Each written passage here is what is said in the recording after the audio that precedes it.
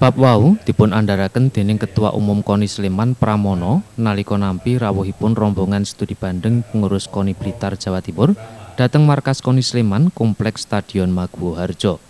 Miturut Ketua KONI Blitar Gaguk Dwi Atmanto, anggenipun dateng KONI Sleman kangge ngrumaketaken kekadangan sarta kangge ngangsu seserpan pembinaan olahraga KONI Sleman. Satemah saged gadah atlet ingkang unggul. Berolahraga baru itu ya kalau bisa ya masih bisa memanfaatkan itu gol yang ada itu gitu pak. Terus juga kami sampaikan juga bahwa dalam pembinaan atlet kita ini KONI Kota kita dalam tahun depan tahun 2019 akan mengikuti Polpro di Surabaya anu Polpro di empat kota yaitu Bojonegoro, Tuban, Lamongan, Gresik nah itu kita jauh-jauh hari sudah mempersiapkan tentunya juga yang paling dasar adalah membuat yang MOU Pak kita kemarin dengan Dinas Pendidikan Kota Blitar itu sudah menandatangani MOU supaya jelas-jelas bahwa nanti langkah gerak pelatihan itu bisa ada karena kasihan kalau siswa mau berprestasi tapi sekolahnya tidak ada.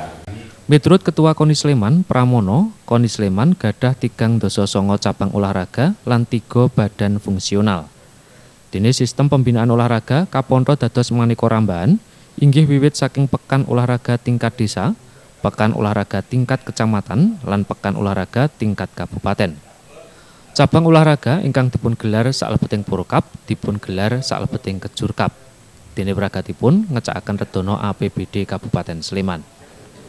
Kami ada yang namanya Pekan Olahraga Desa. Ini pelaksananya adalah Korcam koordinator kecamatan tadi yang eh, pelaksanaannya ini dibarengkan dengan eh, kegiatan hari jadi Kabupaten Sleman.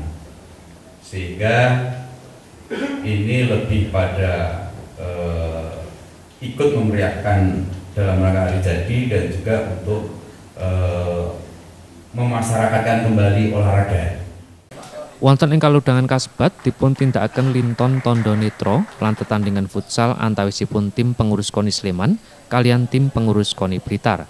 Kanthi skor sekawan gangsal kangge Sleman. Subardi Jogja TV